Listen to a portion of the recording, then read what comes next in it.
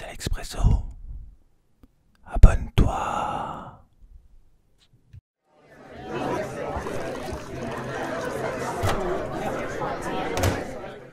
Allez, on commence cet expresso avec un carnet rose pour souhaiter la bienvenue à un futur gamer qui va avoir euh, les bonnes influences et euh, franchement, euh, je pense que ça va taper large entre Légion, Warhammer 40k, Age of Sigmar.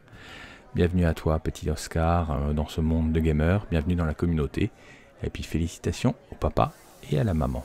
Et on poursuit avec euh, le top 3 des ventes sur la base de notre partenaire Philibert. En numéro 3 sur le podium, on va retrouver euh, Cusco.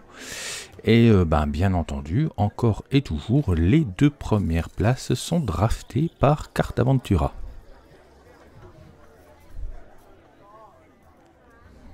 Sinon, on poursuit avec les jeux de plateau et Rush Out, 32 euros, 30 minutes, 3 à 5 joueurs. Un joueur va devoir incarner euh, le sorcier en essayant de reprendre son trésor au héros et tous les autres joueurs jouent eux des héros et doivent sortir ensemble du donjon avec le trésor.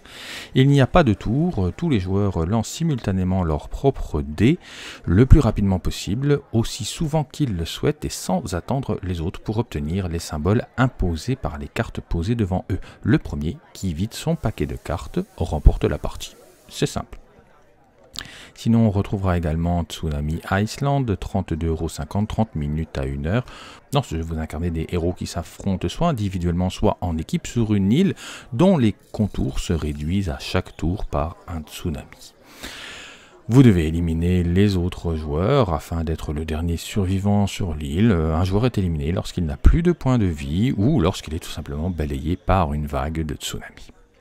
Sinon, on retrouvera également Dune, hein, le jeu de conquête et de diplomatie, 45 euros, un minimum de 2 heures, ça peut monter jusqu'à 3h30, de 2 à 4 joueurs. Bon, ce jeu-là, il s'appuie sur 40 ans de développement, d'amélioration et d'évolution du jeu classique et mythique. Alors attention, il ne s'agit pas euh, d'un réhabillage du jeu classique, hein, il a été réédité en 2019. Il possède le même ADN, la même serveur, euh, la même tension et euh, les mêmes thèmes, mais bah, il y a un nouveau design de plateau et quand même des nouveaux mécanismes.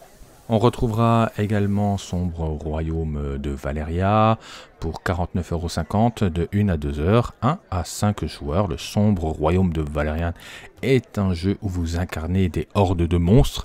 Découvrez le plaisir coupable d'être le méchant de l'histoire. Vous êtes un gardien affamé de destruction. Vous devez déjouer les autres gardiens pour gagner le droit de commander une armée digne des sombres royaumes. Vous visitez ainsi des tombeaux pour obtenir des sbires, de la magie, des gemmes et de l'or pour alimenter votre machine de guerre. Envoyez vos monstres à la bataille et partir à la conquête de nouveaux territoires pour gagner des points de victoire. Évidemment, le joueur qui aura le plus de points de victoire aura remporté la partie. Sinon, la grosse boîte de la semaine, ce sera Ankh, le fameux KS, les dieux d'Égypte, 90 euros de 1 à 2 heures, 2 à 5 joueurs. On incarne des dieux d'Égypte ancienne euh, qui vont euh, tenter de survivre alors que la société commence à oublier les anciennes coutumes. On va construire des caravanes, invoquer des monstres, convertir euh, des fidèles pour atteindre la quête du règne suprême. Les divinités, les monstres et les peuples de l'Égypte ancienne ont été réimaginés, réintégrés, réinterprétés à travers de magnifiques illustrations et des figurines extrêmement détaillées. Tous les gameplays de Hank, y compris le combat, ont été repensés et sont très intuitifs. Côté jeu de rôle, on aura euh, Pulp Cthulhu, hein, qui est une option pour euh, l'appel de Cthulhu. C'est un jeu plein d'affrontements musclés, d'appareils scientifiques fous, de projets funestes et de héros intrépides. Il nécessite le manuel du gardien ou la boîte de base, et quelques dés spéciaux vous serviront pour partir à l'aventure et explorer le genre des aventures pulp. On sera ici sur 45 euros. Allez, on passe à Games Workshop. Avec euh, la sortie ben, tant attendue des deux Battle Tom, hein, Stormcast et Oruk, hein, au prix euh, habituel. Ils seront bien évidemment accompagné de leur paquet euh, de cartes et leur War Scroll, qu'il ne faut absolument pas manquer en français car ils ne seront pas réédités. Trois sorties côté Storm, où l'on retrouvera euh, en fait les figurines qui étaient dans le Soul Wars, mais euh, maintenant qui sont délotées, avec un Lord Arcane sur un Griff Charger, un Évocateur Prime, et un maître du sacro-saint, on va dire que ça se traduit comme ça, et puis surtout un superbe char de combat qui défonce sa mère. Côté Rook, euh, on va avoir euh, cette belle arbalète euh, de Beast Kilwo et puis un espèce de grand troll avec un boss dessus. Vraiment classe. franchement, là, je suis pas un prime de la peinture et je vais sans doute me lâcher. Comme la semaine dernière, vous pourrez aussi précommander vos dés de faction hein, en fonction de ce que vous jouez. Et puis côté Blood Bowl, les elfes noirs auront droit à leur stade et à leur carte ainsi qu'à leur set de dés.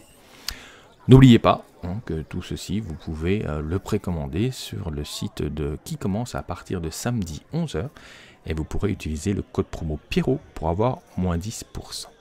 Voilà, c'est terminé avec euh, cet expresso. Je vous remercie pour euh, votre fidélité. Je vous donne rendez-vous en fin de semaine pour une surprise. En attendant, il me reste à vous souhaiter de bons jeux et puis surtout de bons jets. Parce qu'il n'y a que ça pour poutrer le titre d'en face. A très bientôt